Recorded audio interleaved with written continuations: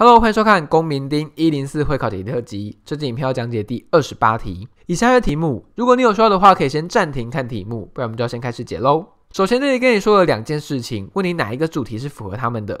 先看 A 吧。A 这个选项说是刑事处罚跟犯罪事件，但是关于刑事的话，你要看到罚金、拘役、徒刑这些才会是刑事。然而在题目里面说的你并没有看到，而且做的这些事情也不属于刑事责任，因此不能选。我们先暂时跳过 B，因为还有答案，呵呵。至于 C 选项，题目说的都不是私人间的契约或者是身份等等纠纷，因此也不能选。D 选项有一点点小陷阱，它都提到了罚款，的确可以让政府的收入变多，但是这是罚款而不是选项的税收，是有所差别的，因此也不能选。我们回头看看 B 吧，B 说的是用行政处分来处理外部效果，这是没错的。